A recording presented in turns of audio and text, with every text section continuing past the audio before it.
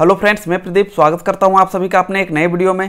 Friends staff selection commission ने western region Mumbai के candidates के लिए भी head constable ministerial in Delhi police examination 2022 भर्ती के लिए एप्लीकेशन स्टेटस चेक करने और एडमिट कार्ड डाउनलोड करने का लिंक जारी कर दिया है। इसके साथ ही एग्ज़ाम का डेट भी अनाउंस कर दिया है और आपको पता भी होगा एग्ज़ाम का डेट है 10 अक्टूबर 2022 से लेकर 20 अक्टूबर 2022 तक। तो आप इस वीडियो पर बने रहें, क्योंकि इस वीडियो में मैं आपको बताने वाला हूँ कि आप अपने एप्लीकेशन का स्टेटस किस तरह से चेक करोगे और अपना एडमिट कार्ड किस तरह से डाउनलोड करोगे। अगर ये वीडियो आपको इन्फॉर्मेटिव लगे तो सब्सक्राइब करके जुड़े रहे हमारे साथ। चलिए स्टार्ट करते हैं।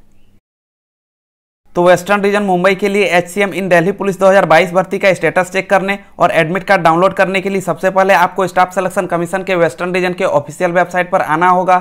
आपके सुविधा के लिए इस वेबसाइट का लिंक मैंने इस वीडियो के डिस्क्रिप्शन में दे दिया है। तो आप इस वीडियो के डिस्क्रिप्शन में जाके उस दिए हुए लिंक पर क्लिक करके इस वेबसाइट तक आसानी से पहुँच सकते हो। इस वेबसाइट पर आने के बाद आपको इसके नोटिफिकेशन सेक्शन में चले जाना है, जहाँ पर आपको लिखा हुआ देखने को मिलेगा status slash download admit card for head constable ministerial in Delhi police examination 2022 to be held from 10th of October 2022 to 20 of October 2022 आपको इस पर क्लिक करना है। जैसे ही आप इस पर क्लिक करोगे, आप एक नए पेज पर पहुँच जाओगे और इस नए पेज पर आने के बाद आपको अभ्यर्थियों के लिए कुछ विशेष निर्देश लिखा हुआ देखने को मिलेगा।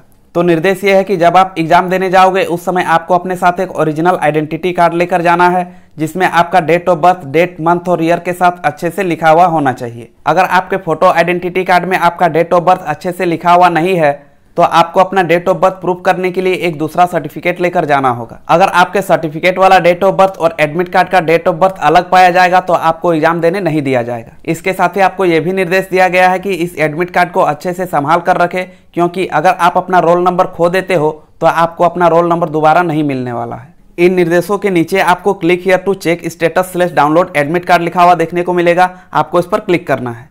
जैसे ही आप इस पर क्लिक करोगे, फिर से आप एक नए पेज पर पहुँच जाओगे। और इस नए पेज पर आने के बाद आपको अपना एप्लीकेशन स्टेटस चेक करने और एडमिट कार्ड डाउनलोड करने का दो ऑप्शन मिलेगा। इन दोनों में से किसी भी एक ऑप्शन को यूज़ करके आप अपना स्टेटस चेक कर सकते हो। इसके साथ ही एडमिट कार्ड डाउनलोड कर सकते हो। तो इसके लिए सबसे पहले आपको अपना रोल नंबर या रजिस्ट्रेशन आईडी नंबर यहाँ पर एंटर करना होगा।